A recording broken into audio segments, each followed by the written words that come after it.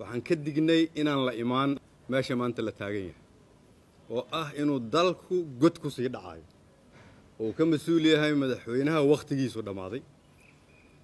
Wakhti horaan sheegnay in muddo kordhintu ama fikirka muddo kordhin ama xukun isku dhejin ama ciidan isticmaalid iyadoon sharci ahayn inay dalkan dib u dhac weyn geenayso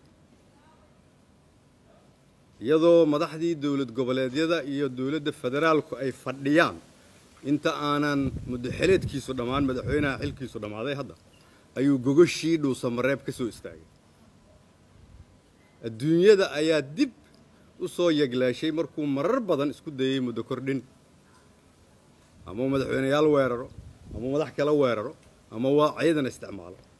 Oo aan nidhi xikmadda soo hartay waa ciidan keliya aan ka dignay ayaa adduunyadu waxay ku guulaysatay inay mar kale villa soomaaliya ka soo kaxayso isagii oo teendhada afasyooni soomaaliya isugu keento. Markii isagu uu ku fashilmay shaqadii keliya oo qaranku ka rabay. Tiina iyadoo la fadhiyo ayuu sida aad markhaati ka tihiin ka tegay. Maanta waxa ay maraysaa in ciidankii soomaaliyeed ay ku kala qaybsamaan damaca madaxweynaha wakhtigiisu dhammaaday. Waxaan rabaa markaa laba saddex fariimood inaan halkan ka diro. Fariinta koowaad waxaan u dirayaa shacabka soomaaliyeed. Qofkii fahamkiisu liitay meesha madaxweynaha wakhtigiisu dhammaaday wuu dalkan ku waday.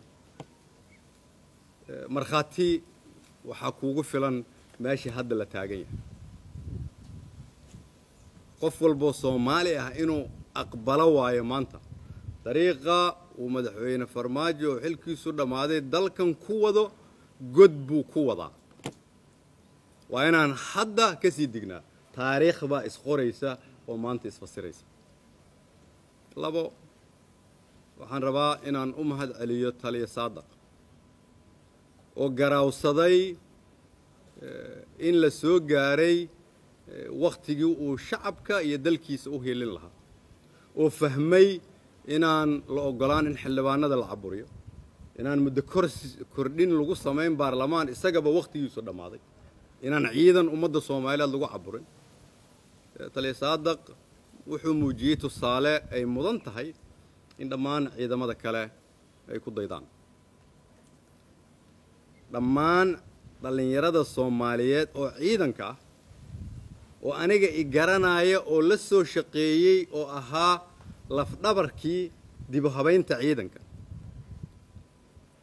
Oo u sahlay in mid walba uu mushaarkiisu qaato. Oo u sahlay in ciidanka dibu habayn lagu sameeyo. Ma idinkugu samaynayn dalkana habeen iyo maalin ugama shaqaynayn inaad aniga isoo weerartaan. Ma u samaynayn inaad dalka dumisaan. Ma u samaynayn inna wakhtigiisu dhammaaday oo raba inuu xukun joogo diidanna inuu doorasho galo inaad aqbashaan taliya saadaq ayaa idinkugu filan tusaale. Waxaan rabaa dhallinyarada soomaaliyeed inaan u sheego.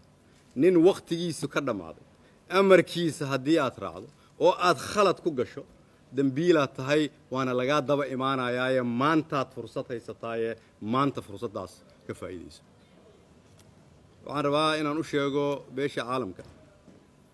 Marar badan ayay nagu soo celceliyeen ee yidhaahdeen waxaan ka shaqaynaynaa doorasho haddii madaxdii dowlad goboleedyada oo halkan fadhida uu madaxweynihii xilkiisu dhammaaday teendhadii ka dhaqaaqay kadibna uu u yeertay baarlamaan wakhtigiisu dhammaado dhammaaday si uu muddo kordhis u helo haddii aad tusaale u baahnaydeen tusaalihii waad haysataan.